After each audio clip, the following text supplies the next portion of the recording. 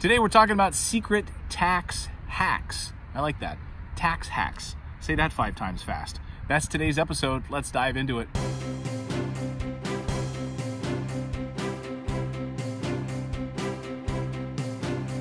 Here we are at our very first rental property.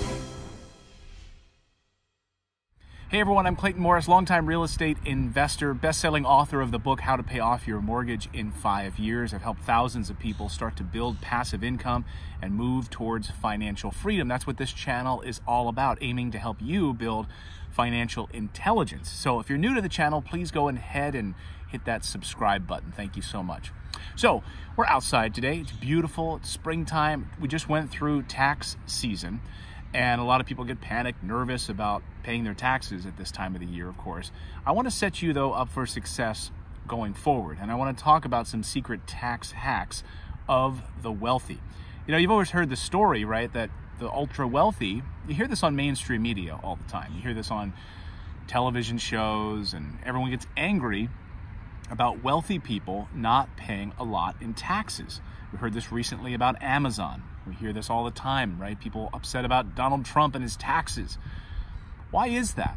Well, the truth is that ultra wealthy people pay very little in taxes, not because they're doing it illegally, but because they're not paying taxes legally.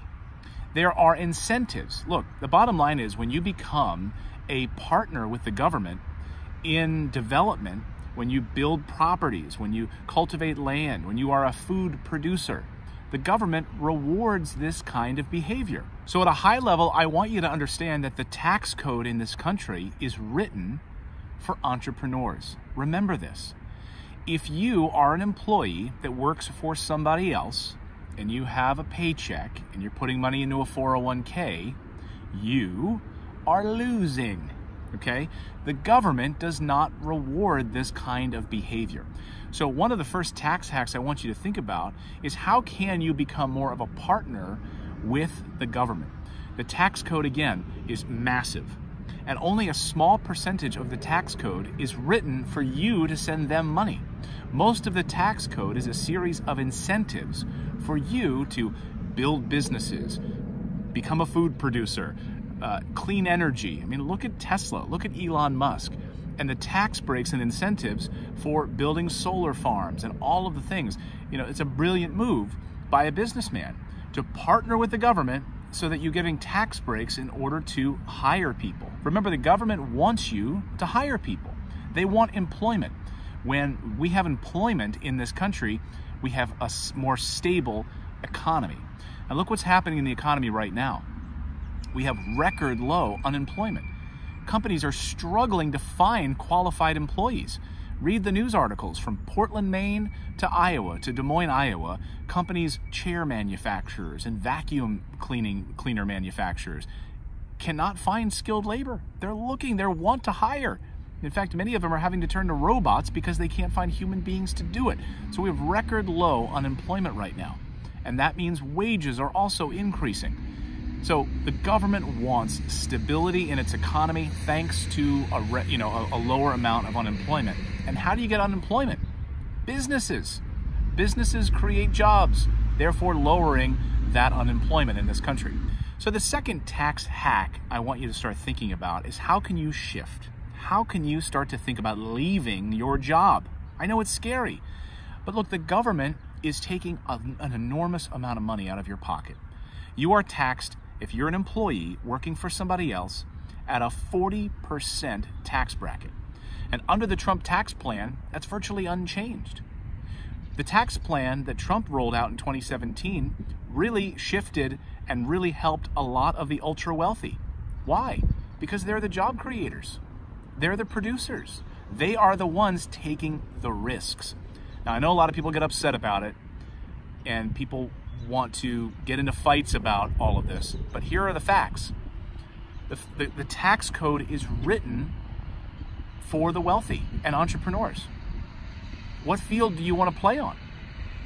So the second tax hack, I want you to start to think about how can you shift away from being a W-2 employee, working for a paycheck, being taxed at a 40% tax bracket, and you're also a passive investor. So we're going to move you away from a job. We're going to start to push you to become an entrepreneur and start your own business and a business that invests. We're going to shift you away from paying the government 40%. We're going to shift you away from just blindly putting money into a 401k plan or mutual funds as a passive investor. The government doesn't reward that kind of behavior. So the third tax hack is I want you to think about how can you become an active investor where the government rewards you for this kind of behavior. What do I mean? Well, when you leave the day job and you move into becoming an active investor, maybe you're a commercial developer or you buy that one single family property and renovate it and provide housing for somebody else. You don't have to do it on a large scale. We're not talking like you need to be Amazon here. What we're talking about though is becoming an active investor so that a predominant part of your day really is devoted to investing. It's to going out and finding deals and working on those things. When you are an active investor, the government will reward you at the highest possible benefit for taxes.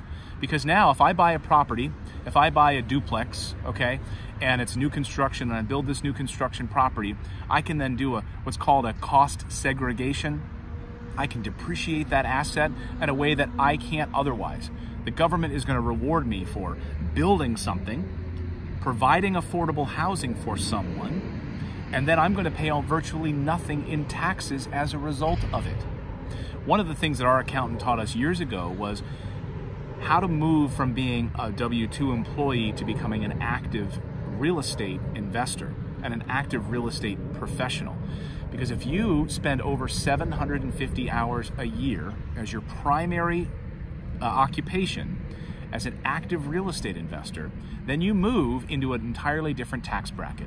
You move out of being a passive investor into an active investor, and the government rewards you. Okay? The government takes less taxes when you do that. So, how can we shift you? How can we get you from that W 2 job into becoming more of an active investor? You can do it. I know you can. Because when you're an active investor, every dollar that you spend, okay, goes back into the business and the government rewards you for spending that money. So when you buy a property and you improve that property, guess what? The government gives you a tax break for improving that property. But now when you work for a paycheck and you work for somebody else and you fix up your own kitchen that you live in, does the government reward you for that? No. Sorry. The next tax hack is to become a business owner that invests in real estate. Think of it like McDonald's. Everyone thinks of McDonald's as the burger joint, right? I used to work at McDonald's. That was one of my first jobs. I worked the morning shift. I made the Egg McMuffins, sausage McMuffins. I worked on the grill, and I loved it. It was a great job. I want my son to work there and my daughter to work there too because it teaches you uh, such a valuable work ethic. But anyway, McDonald's, a lot of people think of them as just the burger place, right? No, they're not. They are a business that invests in real estate. McDonald's always has the best real estate, the best locations. How does that work? So, how can you make this work similarly? You own a business that uses your burger money to buy real estate. So, you might start a small business, an internet business, a pizza store, a hair salon, it doesn't matter. That business as an LLC needs to be buying and acquiring real estate with the fund with the money that you're the cash flow that you're making from your business. That is truly the golden ticket for paying virtually nothing in taxes. Again, you don't have to be Amazon. You don't have to be McDonald's for this to work. As a small business owner that invests in real estate, every dollar that you're making from your hair salon customers is going into real estate. You're able to buy an asset that you're able to depreciate, thus offsetting the income. Remember, you're only being taxed on your net income. And if you're improving real estate, if you're acquiring assets that are able to be depreciated, the government rewards that. Therefore, you don't have to worry about how much in taxes you're paying on the haircutting money that you're making.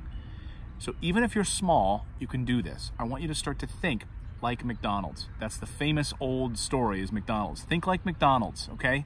Hmm, now I'm getting hungry. All right, my next tax hack is one of my favorites. Is using debt, okay? When you use debt to build wealth, the government rewards you for it. So this argument that there's no such thing as good debt is baloney. Baloney, as my math teacher used to say in high school. Baloney. There is good debt and there's bad debt. And when you can take a portion of your money, so you have a $100 to invest to buy this property. Again, let's go back to the haircutting salon scenario.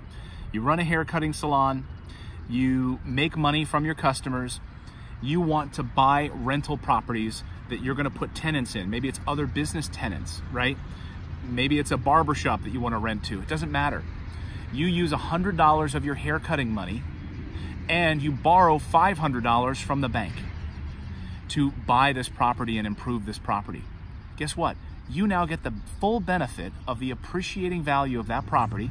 The bank doesn't get just because they gave you 500, they don't get any benefit of that appreciation.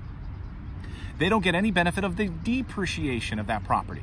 You do on your taxes to offset the money you're making from your haircutting money.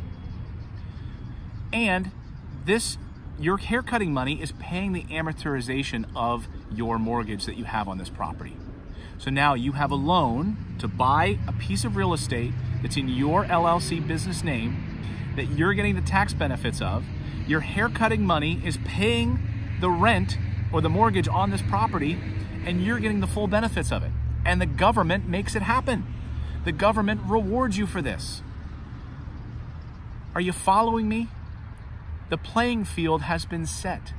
The government has written this tax code in a certain way to benefit those people that want to build wealth in this country, build jobs, become a food producer, become a farmer, and help the economy become more stable with job growth. If you partner with the government, then you are going to get the full benefit of what the government has laid out in the tax code. These are the tax hacks that I employ every day. I have a business that in that business we use money to buy real estate. We run cost segregations and depreciate those assets, therefore offsetting the income that we have from book sales and other things like that that come into our company. And therefore pay virtually nothing in taxes because we're smart with our money, because we're partners with the government the way that they want you to be.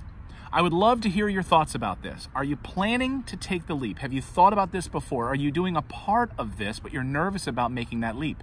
I'm telling you, once you break free of that day job, the shackles come off and you can truly become a partner with the government and take the full benefits of a low tax of a low tax bracket. Leave your comments below. Thank you for subscribing and please share this with someone else that you think could use financial intelligence in your life. We'll see you back here next time everyone.